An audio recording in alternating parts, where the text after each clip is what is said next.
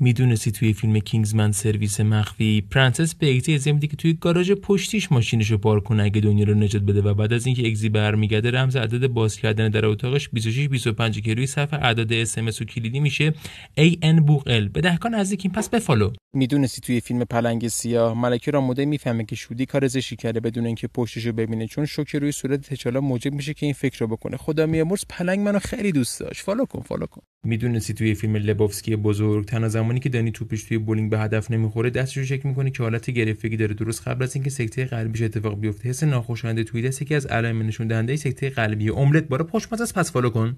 می‌دونستی توی فیلم زندگی یک حشره توی سکانس های حذف شده فیلم پرنسس آتا از خنده پاره میشه و سکانس رو دونه دونه خراب می‌کنه. این اشاره به صداگذارش داره که اسمش جولیا لوئیس سرایفوزه که واقعا هم همینطوری بوده. می‌دونستی توی فیلم سوپرمن مارلون برندو دیالوگاش حفظ نکرده بود و اونا رو از روی پوشک بچه می‌خوند و در کل 14 میلیون دلار که 570 میلیارد تومن ما میشه با خورد ریزش برای نقش 10 دقیقه‌ای دستمزد گرفت. می‌دونستی اگه follow کنی الگوریتم میگه چی تو شد که ای تو شد؟ می‌دونستی توی فیلم خماری مایک تایسون باید مشت زنی هالیوودی رو برای جلوی دوربین یاد می‌گرفت. زمانی که کارگران تاد فیلیپس داشت بهش یاد می‌داد مایک شیشتایی اومد و گفت خب عالی شد دارم درس مشت زنی بوکس و از یک کاپیتان تیم بچه سوسوله یاد می‌گیرم. می‌دونستی توی فیلم آمریکایی روانی وقتی که پاتریک بیتمن داره از خشکشویی با عجله میره بیرون برای یه لحظه خود واقعیش روی صورتش نشون میده که چهره سرد و بی‌احساسی داره.